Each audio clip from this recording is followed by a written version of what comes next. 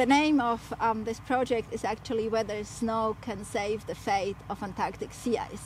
If you think about it, we have this vast amount of sea ice in Antarctica, but covering all of that sea ice is a blanket of snow. Snow acts in two ways.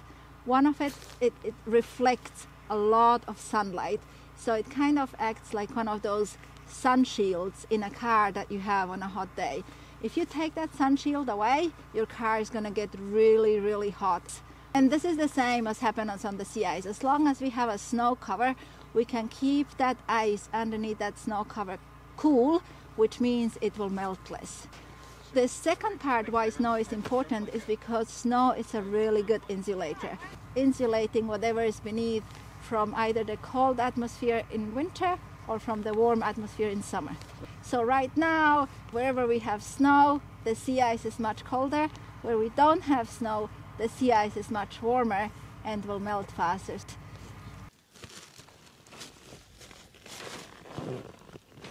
So this is spectra uh, because it measures solar radiation. It is so big because it carries several instruments the instrument looking upward and downward. And they measure the solar radiation coming from the atmosphere and the sun and the solar radiation reflected from the surface.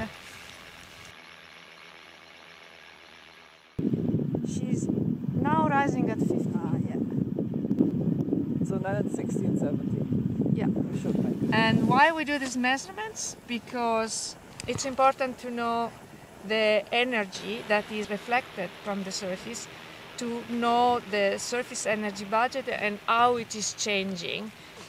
If the ice retreats and if the snow decreases, the surface becomes much darker and it means that it absorbs much more sunlight and gets heated and prevent further ice formation and this will uh, start a positive feedback that will further enhance the warming.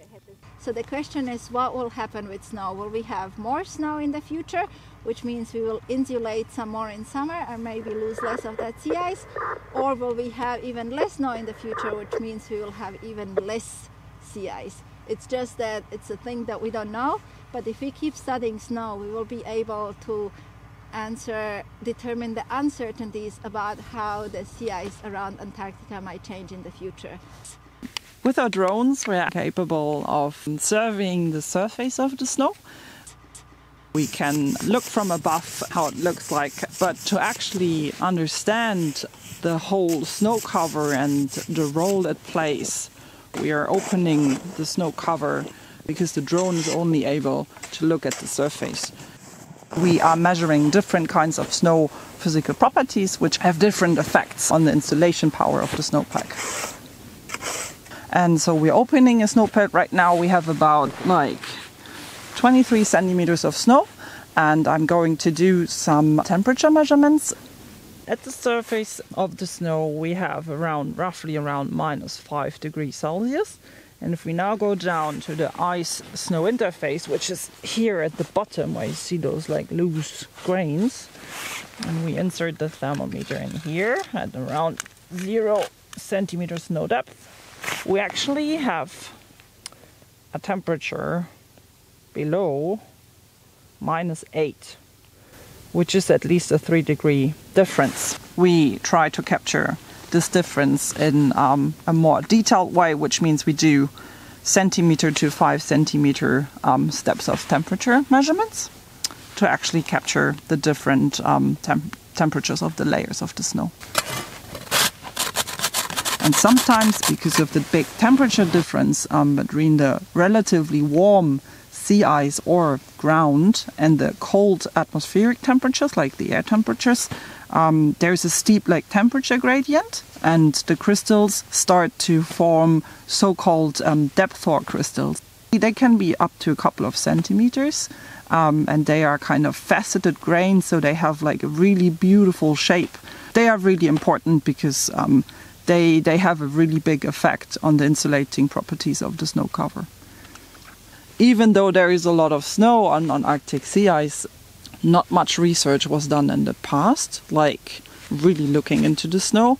And so we are trying to start to close this gap to actually really understand what the snow cover does and what kind of role it plays from the snow surface down to the sea ice interface.